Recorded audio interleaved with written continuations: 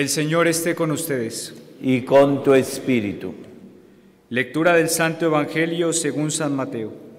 Gloria a ti, Señor.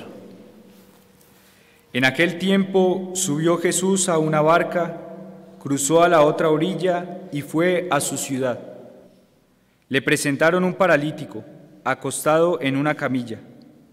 Viendo la fe que tenían, dijo al paralítico, Ánimo, hijo, tus pecados están perdonados. Algunos de los escribas se dijeron, Este blasfema. Jesús, sabiendo lo que pensaban, les dijo, ¿por qué pensáis mal? ¿Qué es más fácil decir, tus pecados están perdonados, o decir, levántate y anda? Pues para que veáis que el Hijo del Hombre tiene potestad en la tierra para perdonar pecados, dijo dirigiéndose al paralítico, ponte en pie, coge tu camilla y vete a tu casa.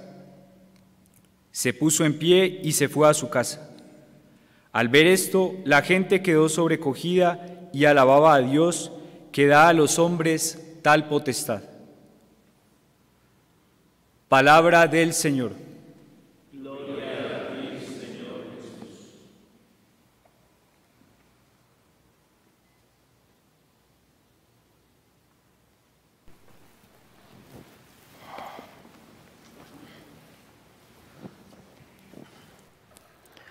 Hoy el Señor en esta liturgia, a través de esa palabra que nos entrega la iglesia, que nos la proclama en esta, eh, en esta Eucaristía que estamos celebrando, da luz a nuestros ojos, como decía el Salmo. Da una luz impresionante. Ánimo, hijos, tus pecados han sido perdonados. Esa es la luz ese es lo que realmente nos hace hijos de la luz, como decía la oración colecta. Eso nos hace adoptados por su gracia, en su gracia, en su misericordia. Cantaremos eternamente la misericordia del Señor. Eso es realmente lo que nos levanta, nos abre los ojos, nos ilumina, lo que hoy realmente nos, nos hace vivir el día eh, no metidos en nosotros mismos, no metidos ahí en, eh, en, nuestro egoísmo, individualismo, sino que nos abre los ojos y nos hace ver a los demás, nos hace ver a los demás, nos hace entrar en una relación nueva, distinta con, eh, con los demás y con nosotros mismos y con nuestra historia con nuestra historia, porque el engaño, el engaño del, demonio, ¿no? Eh, por eso le pedíamos al Señor que nos, eh, nos eh, librara de caer en el error, es decir, de errar, de caminar fuera del camino, de andar por caminos que no son los que nos conducen a la comunión con el Padre. El engaño del demonio, metiéndonos fuera de la vía que es Jesucristo, metiéndonos fuera de la comunión con Él, es esto, hacernos dudar seriamente de su amor y pensar que nuestra parálisis, nuestra, nuestra incapacidad viene desde afuera de nosotros, viene del carácter del otro, del formador que te tocó, viene de las circunstancias que vives, que tiene que trabajar, viene, no sé, que tu parálisis tu, inmovilidad, tu, nuestro estar metidos en nosotros mismos viene por la historia, viene porque nos, nos dijeron cuando éramos niños, nos hicieron, no sé, tantas situaciones y circunstancias que el, que el demonio, demonio toma pretexto para, para, para catequizarnos y para hacernos caminar, para hacernos ir como errantes errantes, para aquí, para allá, dando palos de ciego, eh, cayendo de tumbo en tumbo y sin saber dónde, para qué sirve nuestra vida, hacia dónde está dirigida, dónde se realiza, dónde, dónde recibe la plenitud, dónde recibe la felicidad. Entonces el demonio, tomando pretexto de nuestra historia, nos, nos, nos paraliza, nos paraliza.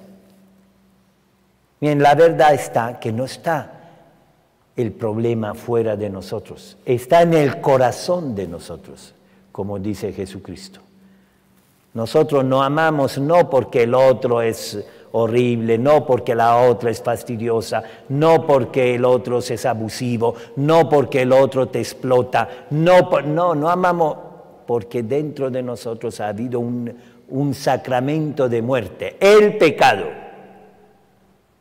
Porque del corazón del hombre, dice Jesucristo, salen los odios, eh, las venganzas, los adulterios, los robos, las fornicaciones. Del corazón del hombre. Por eso Jesucristo en este Evangelio va derecho al corazón. Va derecho al corazón. Cuando ve a esa persona prostrada, como nos ve a nosotros, prostrados, incapaces, imposibilitados, ¿no? Dice, ánimo, hijo, tus pecados son perdonados. Ahí está la, la gracia que Jesucristo nos da y hoy nos quiere por eso, si sana nuestro corazón, se ilumina nuestros ojos, porque nuestros ojos son el reflejo de nuestro corazón.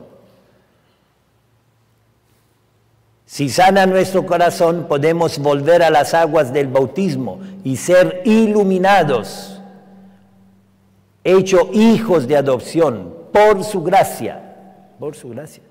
Por eso es tan importante la, la profecía tan importante lo que hemos escuchado en la primera palabra que se ha proclamado. Es fundamental que hay quien dice, quien profetiza, profetiza, que profetiza, no que tú eres malo o bueno, o que yo soy horrible, no, profetiza que el pecado nos ha destruido.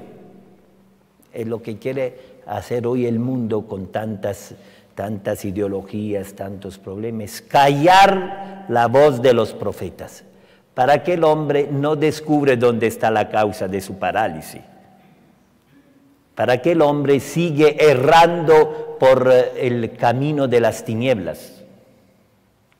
Mirad cómo es de eh, eh, perverso el mundo, el maligno que lo, lo domina como príncipe de este mundo en lugar de hacernos descubrir a través de los profetas cuál es la causa de nuestra parálisis, de nuestro cáncer, nos la quiere ocultar para que nosotros sigamos sus esclavos, súbditos del demonio. Nosotros no somos súbditos, nosotros somos hijos de Dios. Por eso Jesucristo dice, hijo. Nosotros estamos llamados a tener la naturaleza de los hijos de Dios aceptar nuestra debilidad, nuestro pecado, nuestra fragilidad, nuestra miseria, para que experimentemos el perdón, el amor, la misericordia, la bondad, la ternura de aquel que nos ha creado y más aún nos ha redimido, nos ha comprado a precio de su sangre. Por eso ha podido decir, hijo, tus pecados son perdonados. Y por eso los mandamientos del Señor son verdaderos, ¿sí? Porque ese es el nuevo mandamiento. Amaos como yo os he amado. ¿Cómo nos ha amado? Perdonándonos, entregando la vida por nosotros. ¿Cómo nos ha amado? haciéndonos conocer eh, el amor del Padre, metiéndonos en una comunidad, dándonos la iglesia, levantándonos día tras día, año tras año. Así nos ha amado. Y eso es lo que da luz a los ojos. Así que vamos hoy eh, verdaderamente a levantar nuestro corazón, a abrir nuestros ojos, a no mirar para adentro, mira para afuera, mira que tus pecados te son perdonados, ¿no? Mira la bondad del Señor, esta ordenación que celebraremos mañana. Mira cómo es grande el Señor que llama a personas pobres, débiles, para que se manifieste su amor en esta generación mira, abre los ojos,